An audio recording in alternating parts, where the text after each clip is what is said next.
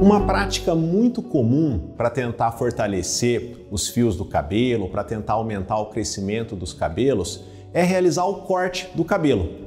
E será que realmente a gente cortar o cabelo pode ajudar no crescimento, no fortalecimento das hastes? Então, essa é a dúvida que a gente vai responder no vídeo de hoje. Mas antes da gente entrar nesse assunto, eu gostaria de lembrar que o nosso canal fala de dermatologia, de cuidados com a pele, de cuidado com os cabelos. Então, se você se interessa nesses assuntos, não deixe de se inscrever. Muito bem, então isso é uma prática muito comum, né? O cabelo está caindo, ele não está crescendo de maneira adequada, a pessoa tem uma percepção que o volume não está adequado ou que as hastes estão muito quebradistas, então a pessoa decide então cortar o cabelo é com o intuito de que isso estimule então o crescimento de um cabelo de melhor qualidade.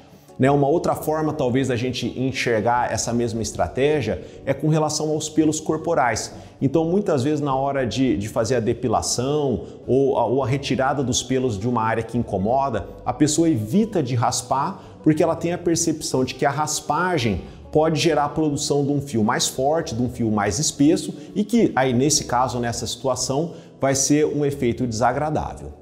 Então, qual que é a ideia por trás aí de que o corte ou a raspagem iria estimular o folículo. O folículo é a raiz do cabelo, é a estrutura que fica dentro da pele e é a responsável pela produção do cabelo. Então, o corte ou a raspagem teria que gerar um estímulo no folículo para ele produzir um cabelo com melhor qualidade ou produzir um cabelo em maior velocidade. Isso pode acontecer? Bom, vamos falar então, pegar alguns exemplos de situação que a gente observa estímulos para o folículo e acontece essa mudança.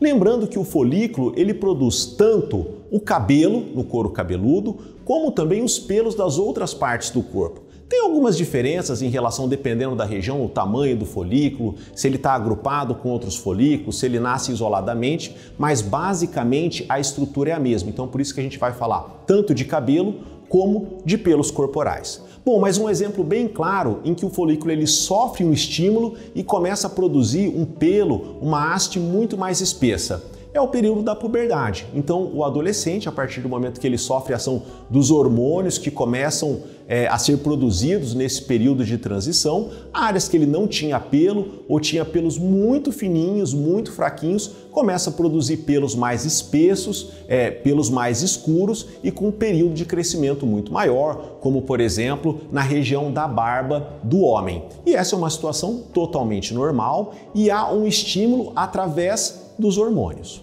Vamos pegar um outro exemplo agora em que o, folículo ele começa a produzir uma haste mais fina, de pior qualidade. Eu acho que um bom exemplo são nas, nas situações de desnutrição.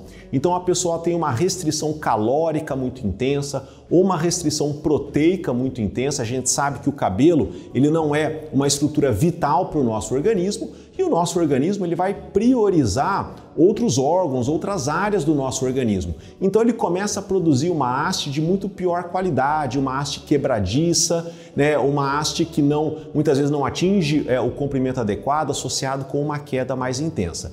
A partir do momento que a gente recupera, então, é, uma ingestão alimentar adequada, nutricional adequada, o folículo ele volta a produzir uma haste mais saudável. Agora, o corte do cabelo pode produzir um, esse tipo de efeito em estimular uma produção maior ou melhor do cabelo? Olha, a gente não tem nenhum dado científico que aponte nessa direção.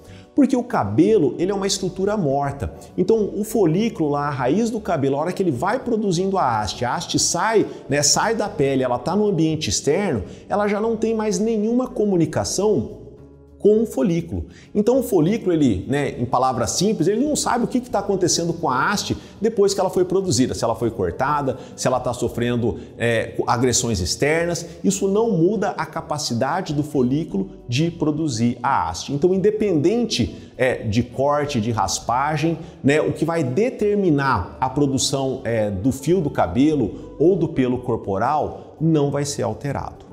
Agora, muitas vezes, essa, é, o corte do cabelo ele pode produzir uma sensação positiva. Por exemplo, o comprimento máximo dos cabelos varia de pessoa para pessoa, mas os nossos cabelos, mesmo que a gente nunca cortar, eles não vão crescendo de maneira indeterminada. Ele chega a um ponto de crescimento máximo e ele não passa daquilo.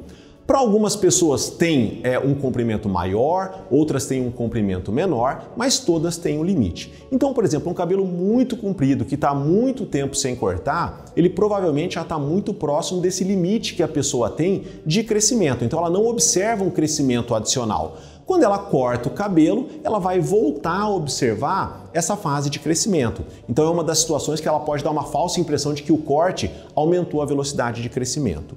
Uma outra coisa, o nosso cabelo ele vai perdendo qualidade, agora não falando de tamanho, mas de qualidade da haste. Então ele vai perdendo brilho, ele vai ficando mais quebradiço, ele vai ficando com aquelas pontas duplas, principalmente em função do contato com é, fatores externos, com as lavagens, shampoo, condicionador, sol, tudo isso vai levando a uma agressão da haste. E quanto mais tempo a haste sofre essa agressão, pior vai ser a qualidade da haste. Então é de se esperar que principalmente a extremidade dos cabelos, principalmente quem tem os cabelos mais longos, ela tenha uma qualidade da haste muito inferior às, às partes da haste mais próximas ao couro cabeludo. Então quando a gente corta os cabelos, a gente tem uma sensação de que a gente está com um cabelo, uma haste de melhor qualidade. E realmente está, mas isso não quer dizer que foi produzida uma haste nova de boa qualidade em função do corte.